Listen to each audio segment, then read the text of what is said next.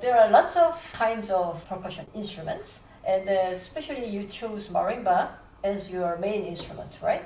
Yes, it's a special type of love that I have for that instrument, and that relationship began more than 10 years ago when I was a student, and for the first time I was given to play with four sticks instead of two. Mm.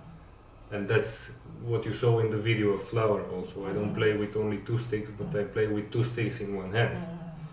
So the moment I was led to play in that way, I kind of fall in love with that instrument. And it's very special because the wood itself is singing. Of course, what you see here is amplifying and giving resonance to the wood, which even makes it more alive.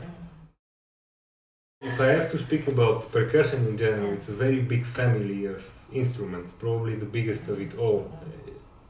So we start from membrane instruments, that's drums, timpani, Mm. what what has skin. Mm.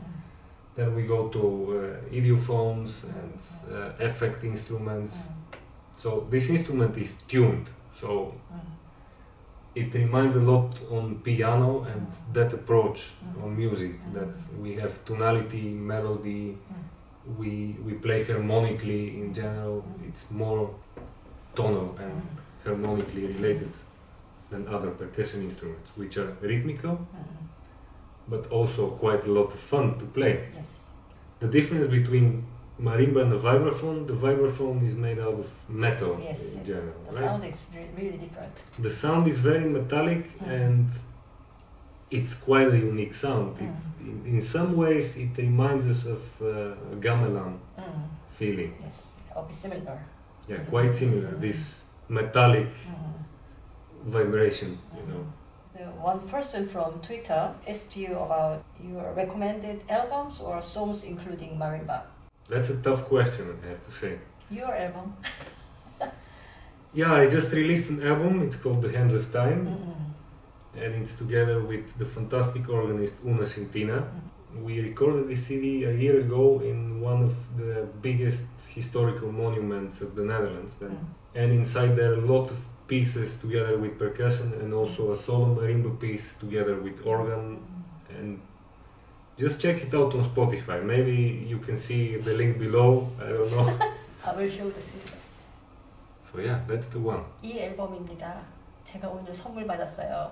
아이튠스나 애플 뮤직이나 아니면 유튜브 on Uh, YouTube? on YouTube also, I think. 아, Yeah. 아, 유튜브에서 들어보세요. I had the chance to meet and to work closely with the icon of uh, marimba playing 음. called Keiko Abe, 아, She's yes, from Japan. Japanese. Yeah. and she gave a big impulse to the development of that instrument that we see here. Her music is very related to nature 음. and it comes from her heart. She improvises the music herself, and that's how the material comes. And if you have the chance, please listen to Keiko Abe's music. Yeah, her music was amazing. But before I composed the piece Flower, I listened to her music a lot for Yes. understanding marimba. Yes. Yeah, yeah. She involves the whole spectrum of the instrument and makes the wood really sing, Mm. I have to say. Of course, uh, many different artists you could find. Uh, for example, Nancy Zeltsman from the United States of America. She has a few albums. Um, Ramon Lormans from the Netherlands, Index of Wood. It's all new music from marimba, but in a very tasteful way, chosen Mm. all together. It has a few movements that actually take out different qualities of the instrument. I think uh, to a big extent, if you're you're a true musician, you listen to everything. Yes, of course. For me, uh, what helps me as a musician to make my music on, on marimba is also listening to an orchestral piece. Mm. Yes, For example. Mm. Could be Gustav Mahler, could be uh, Ludwig van Beethoven, Bach. Mm. You can get a lot of influence from everything, Yes, also different genres. mm, of course. We should listen to all good music. Yes, Yeah, we should overcome the thoughts of the making boundaries between music, the genres Yeah. and styles. well, of course, some genres we don't like as much as others, Mm. and we want to learn even from something that we don't like. Mm. That's a good uh, philosophy of life Yes. too. Could you show an example of playing marimba?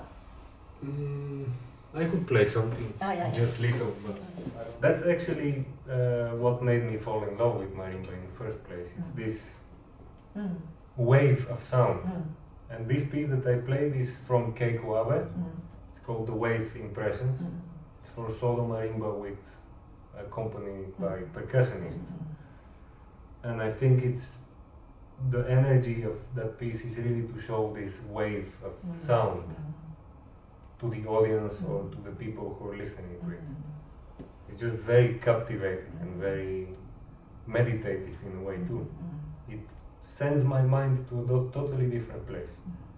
Oh, I could play just a little fragment, yeah. for example.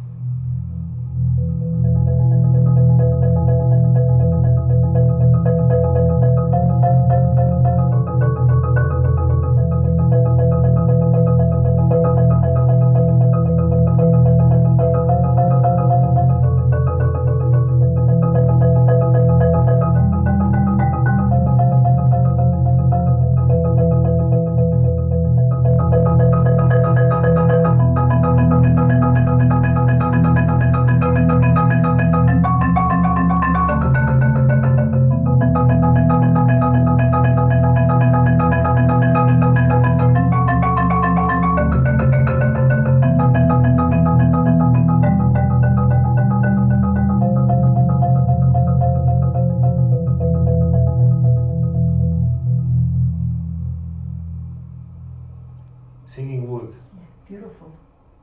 Very touching sound. But of course, we can play also uh, Johann Sebastian Bach. That's, uh,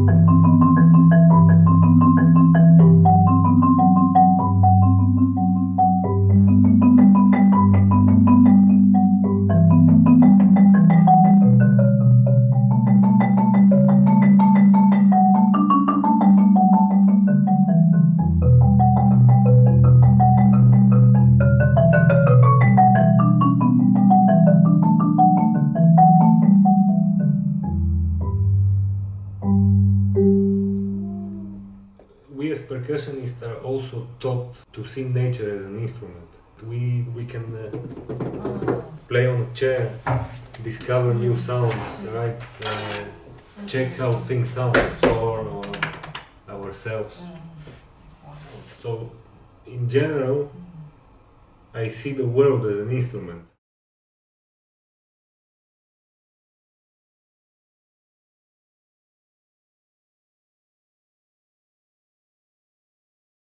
Working with uh, Peter Mark was a great experience.